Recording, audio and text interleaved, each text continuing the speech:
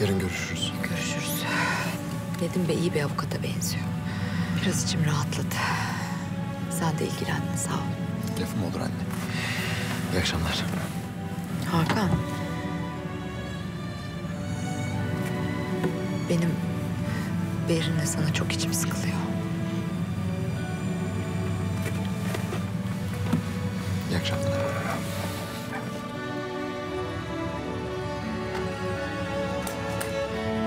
Hakan Bey.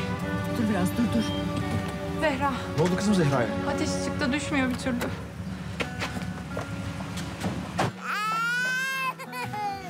Babacığım. Ne oldu sana? Aman da kızım benim. Ne olmuş benim kız? Yanıyor bu çocuk. Çabuk doktor çağır. Kızım sen niye annesine haber vermedin? Aradım ama iş yerinden çıkmış. Bizim evde oraya ara. Kiraz dur dur. Ben ararım. Sen git bir ıslak bezle ılık su getir. Kompres yapalım doktor gelene kadar. Aman benim güzel kızım. Benim güzel kızımın ateşi mi çıkmış bakayım. Bakayım bakayım.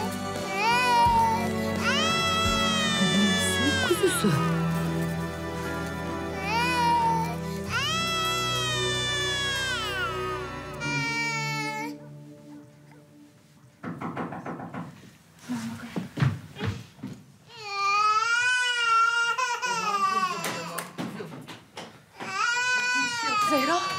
Bebeğim. Ne oldu nesi var? Ateşi biraz düştü ama siz yine muhakkak ılık suyla kompres yapmaya devam edin. Ben zaten ateş düşürücü de verdim. Tekrar yükselirse bana haber verirsiniz. Sağ olun. Doktor bey. Bir saniye. Çok teşekkürler. Geçmiş olsun. Sağ ol. Ben de çıkıyorum Hakan Bey. Tamam Kiraz'cığım yarın görüşürüz.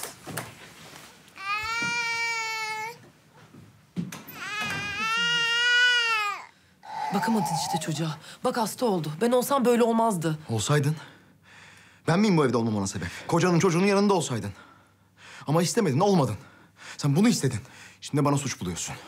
Bu ne pişkinlik ya? Hakan, olayları yine çarpıtıyorsun. Ben mi sen mi? Çalışacağım dedin. Çocuğu ziyan ettin. Şimdi de sevgili çıktı. Bayağılaşma Hakan. Sen bayalaşma. Çocuklar ne oluyorsunuz Allah aşkına ya? Ne yapıyorsunuz? Sakin olsanıza çocuk hasta. Anne, doktor başka bir şey söyledi mi? Mühim bir şey var mıymış? Yok yavrum ateş çıktı işte şimdi düştü. Olur böyle şey çocuklarda. Hem onlar yetişkinlerden daha çok dayanıklı ateşe. Hadi merak etme sen.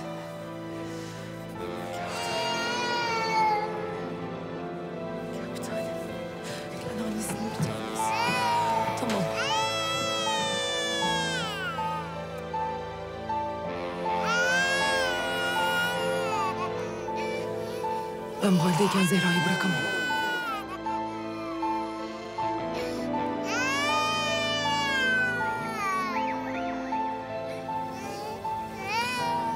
Burada kal. Bu gece.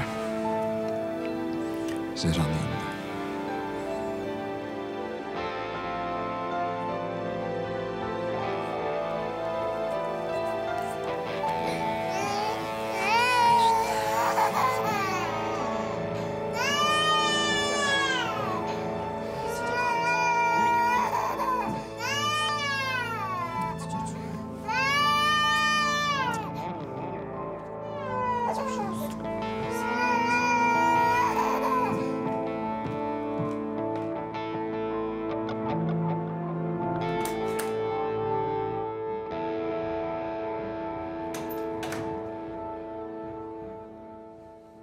Kanalımıza abone olarak tüm videolardan anında haberdar olabilirsiniz.